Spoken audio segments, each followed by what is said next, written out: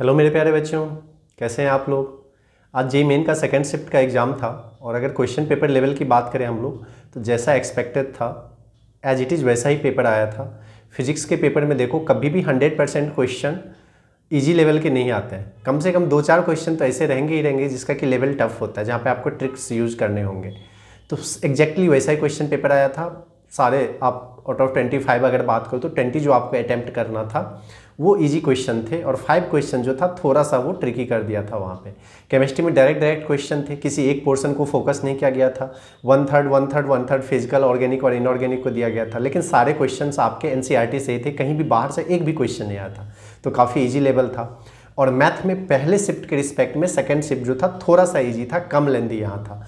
लेकिन अगर जे मेन के बच्चे और आप मैथ भी ईजी एक्सपेक्ट करके जाते हो तो ये अच्छी बात नहीं है। एटलीस्ट मैथ तो आपका स्ट्रॉन्ग होना ही चाहिए। तो जैसा एक्सपेक्ट किया जा रहा था कि पेपर का लेवल ईजी होगा और आपने फरवरी शिफ्ट में देखा था कि पेपर का लेवल काफ़ी ईजी हुआ था। वैसा ही अभी पेपर आया है। लेकिन जब भी पेपर ईजी आता है तो आप एक बात याद रखना कि कट ऑफ़ थोड़ा तो हाई जाएगा। तो आपका क्या प्रिपरेशन स्ट्रेटजी है? आप शेयर कर सकते हो हमारे साथ। अगर कोई प्रॉब्लम आ रहा है, फिर भी आप कमेंट में कमेंट बॉक्स कर सकते हो। और किसी भी तरह अपडेट के लिए आप चैनल को सब्सक्राइब कर लें। और हमारी जहाँ हेल्प की नीड है, आप कमेंट में कमेंट करिए, वहाँ से आपको हेल्प की जाएगी। Thank you